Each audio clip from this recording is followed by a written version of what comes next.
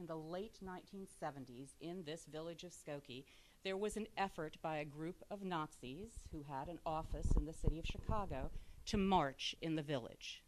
Although the march never actually took place, it went from being local news to international news. And what it did in the process was mobilize the entire community of Skokie, not just the Jewish population of Skokie, but the entire community. And at that time, we were led in our village by a gentleman named Albert Smith. He was mayor at that time. And Mayor Smith happened to be Catholic, but he agreed that nothing should come into this community, nothing should come into our village that would be harmful in any way, physically or psychologically, to anyone who lived in Skokie. So he was one of the leaders who helped prevent the march from taking place. At that time, there were a number of Holocaust survivors in Skokie.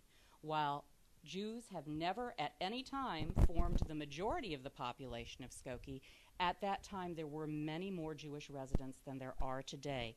And among those Jewish residents, there was a very high proportion of Holocaust survivors. At that time, I think a newspaper said that one in every seven residents had some relationship to the Holocaust. The survivors, when they went around trying to get people to understand why the march should not take place, encountered a great deal of ignorance about the subject of the Holocaust. When they said to people, the march shouldn't happen, they were told things like, oh, it's a small bunch of crazy guys, just forget about it. If you ignore them, they'll go away.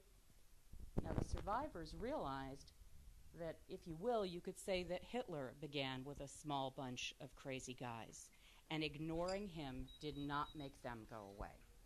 So the survivors recognized that what they needed to do was to begin speaking about their own experiences. Now, you may not understand this. Those who've survived the Holocaust predominantly came to the United States in the late 1940s up through the middle 1950s. And when they came here, many of them did want to discuss what they had lived through. But people told them to forget about it. That was then, this is now, you're in America. Build new lives for yourselves. However, when they encountered this ignorance about the subject matter in attempting to prevent the march of the Nazi group, they realized they had been silent too long and it was time to speak. So a group of them banded together and created this organization, the Holocaust Memorial Foundation of Illinois. They started in 1981. They began by meeting in people's basements. Then they decided to be official, they should incorporate, and they got a post office box because if you're a corporation, you need to have some place to receive mail. And then they got a small storefront location on Dempster, and then someone saw this building.